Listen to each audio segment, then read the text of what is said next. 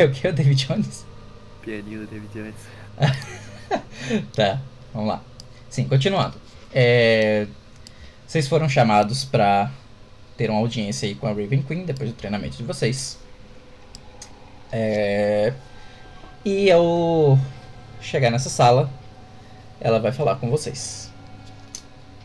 Campeões, essa é a missão mais importante que eu já dei para que eu darei para vocês. A Guerra de Sangue chegou ao segundo círculo do inferno. Porém, Zariel e suas tropas não foram derrotadas no primeiro círculo. O que é estranho, um exército de demônios, especificamente de demônios mortos-vivos, invadiu a Cidade de Ferro por meio de uma fenda mágica, que foi diretamente conjurada no segundo círculo. Demônios mortos-vivos, demônios mortos-vivos são comandados normalmente por Orcus, que é o Lorde é, deles. Porém, não é normal, não é do feitio de Orcus conduzir um ataque dessa forma. Então, eu mandei espiões para o seu lar. E foi aí que eu descobri que Orcus, o Lorde Demônio dos Mortos-Vivos, está morto. Foi assassinado. Enquanto é verdade que Orcus sempre desejou Sempre suspeitei que ele queria tomar o meu reino. A sua morte não é uma boa notícia. Porque a sua varinha, a varinha de Orcus, ainda existe. E sua vontade vive através dela. O Nephilim, conhecido como Nerevar Nox, junto dos seus mais poderosos tenentes, destruíram Orcus e uma parte de seu exército. O que sobreviveu está agora sob seu comando, através da varinha. A estratégia de Nox não é uma estratégia típica de vitória para conseguir uma vitória a longo termo. O exército dele, o exército que está atacando a Cidade de Ferro atualmente, do jeito que está atacando, eventualmente vai ser derrotado, especialmente quando Zariel decidir contra-atacar. Logo, ele mandou, eu suspeito que ele mandou suas forças em busca de alguma coisa. Alguma coisa poderosa, alguma coisa que seja de interesse de Nox. Portanto, eu quero que vocês 3. Vão à Cidade de Ferro e descubram por que o exército está atacando do que ele está em busca. Glaumabeth e Sefarvarin são os dois tenentes que estão, sob, estão comandando o exército e estão no, no segundo ciclo do inferno agora. E eles provavelmente saberão essa informação. Achem eles, interroguem eles, espremam toda a informação que conseguirem e depois os matem. Nervarnox já perdeu um de seus tenentes. E se perder mais, ficará ainda mais vulnerável.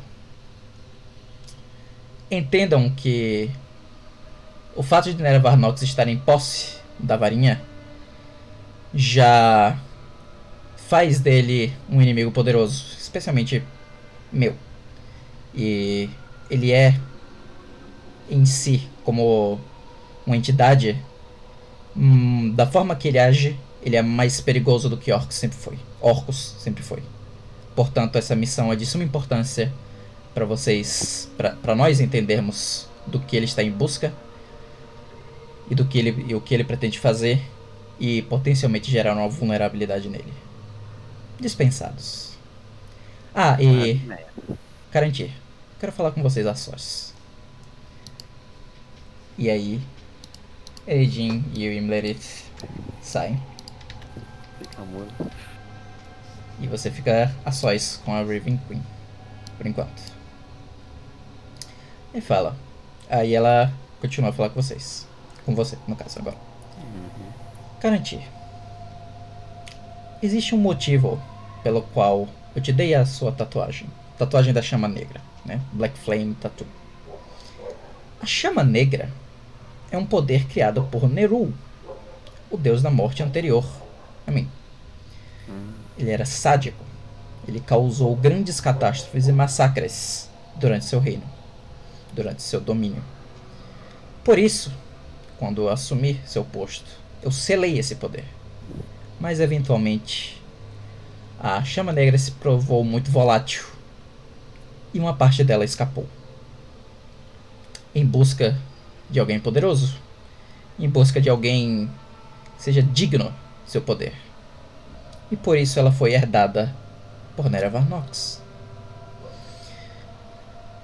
Eu acredito que pouquíssimas pessoas em todo o universo saibam disso, Mas o verdadeiro poder de Nervanox é, seu cerne é a, o poder da chama negra, que incita, que dá ainda mais força ao seu seu seu feitio. Ele possui esse poder agora e ele também pôde o compartilhar com o seu mais poderoso tenente. Chama-se Nereva Frida. É basicamente o seu segundo em comando. Nereva Nox é perigoso mais perigoso do que Orcus conseguiu ser em toda sua vida. Ele é mais esperto, ele é mais poderoso e ele é mais engenhoso. Ele é excepcionalmente adepto a controlar mortos-vivos, especialmente agora que ele está em controle da varinha. Ele agora junta, tem controle de uma quantidade colossal de almas que estão ao seu dispor e sob seu controle no plano material.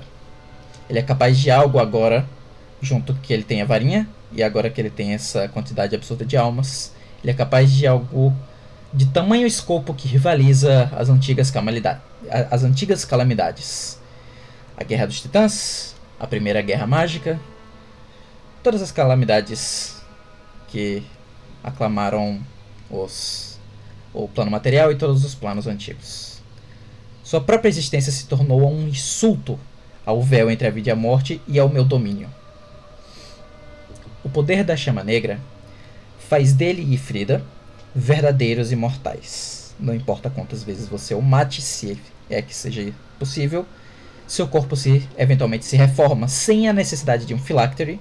Aí eu vou dar um contexto, porque phylactery é normalmente o jeito que um, ande que um lich se reforma. Tipo Vecna. No D&D, quando você mata o Vecna, ele é um lich, e o foda dos Lichs é que eles têm um item que se chama Phylactery, que eles provavelmente escondem entre 50 dungeons, eles escondem do jeito mais precioso possível, porque quando eles morrem, eles voltam pro Phylactery. Então se você destruir o Phylactery, você fode o Lich, tá ligado? Então geralmente o jeito que você mata o Vecna é você destruir o Phylactery dele depois lutar contra ele, né? Mas o Nox, por meio da Chama Negra, ele é um verdadeiro imortal. Ele morre e ele não precisa de um Phylactery para se reformar, ele só se reforma. É Porém, existe um jeito de de destruir ele. Antes de é, se reformar, se ele entrar, ele se reforma por meio da chama negra. Então, se ele antes de ele se reformar, ele entrar em contato com um, outra fonte de chama negra, elas podem se anular. Apenas uma chama negra pode apagar outra chama negra. Karantir Shadarkai. Você é o único mortal vivo capaz de matar Nervarnox permanentemente. Nesse momento. No futuro, você será encarregado disso. Você travará uma guerra contra Nervarnox. E você irá matá-lo por mim. Se não fizer isso, nada poderá impedi-lo de eventualmente invadir Shadowfell. E eventualmente, nada irá impedi-lo de tomar meu lugar e o controle do Poço das Almas, assim como fiz contra Nero milhares de anos atrás. Caranteiro, seu pai já foi um servo meu. Ele era o mais capaz de todos os meus guerreiros, e seu futuro era promissor. Quando você o, Quando você o matou, eu sabia que você ainda tinha ainda mais potencial e que um dia seria um campeão meu. Portanto, eu confiei a tatuagem a você e a tarefa de matar Nervanox é sua. Posso confiar isso a você? Claro que pode, minha rainha. Faria tudo por você. Mais uma coisa. A chama negra tem um custo. Você pode usar ela da forma que eu te descrevi, aí ela se refere ao que está escrito na, no item mágico, né? Tipo, tudo uhum. que você pode usar Lá no item mágico você pode usar sem problemas, uhum. certo? Mas quando você é, usa ela especificamente, tipo, porque vou só dar um detalhezinho aqui, só pra você entender um pouco melhor. É, o jeito que ela fala, tipo, pra matar o Nox e também para matar a Frida, já que a Frida tem o poder da chama da morte, chama, chama negra, é, é quando você, basicamente, entre aspas, assim, tô falando em termos de gameplay, você reduz ela a zero de vida, e uhum. o que ela diz para você, basicamente, em questão de mecânica de gameplay é que quando você reduz ou a Frida ou o Nox a zero de vida, como eles têm chama negra, eles só voltam a ser full HP. Tá ligado? Tipo, você mata ele, ele volta. E aí você mata ele ele volta. Tá ligado? Tipo. É. Se você não. Aí basicamente o que vocês têm que fazer em termos de gameplay, fica entendido por Karant é matar ele, né? Reduzir zero de vida. E antes que ele se reforme, você usa a tatuagem nele. Certo? Basicamente você joga a tatuagem nele, joga a chama negra na chama negra dele, e aí as duas se apagam. Certo? Sim. E aí você matou ele. Então, aí quando ela fala, o que ela fala pra você é que o uso da chama negra pra esse fim, dessa forma, tem um custo. Matar um ser poderoso do nível de Nervarnox ao ponto que ele chegou nesse momento, usando a sua tatuagem, vai custar o seu corpo e a sua alma. Eles vão ser queimados juntos. Mas não se preocupe. Todas as almas passam pelo poço, como você já sabe. E ao fazer isso, a sua alma será resgatada por mim. E você viverá como meu agente em Shadowfell pela eternidade. Não tema a morte, Karantir, pois nela eu sempre estarei ao seu lado. Eu não temo. E aí, Karantir, fica entendido pra você que só você consegue matar Neravanox permanentemente. Mas ao fazer isso, você vai junto. Certo? Uhum. Então, basicamente a sessão é essa.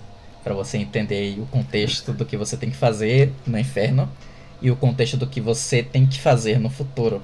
Porque você sabe agora de uma informação crítica que a galera não sabe. Que é. Nervanox é imortal. E a única pessoa que tem a capacidade de matar ele é você. Ok? Entendi. Esteja dado aí o plot twist.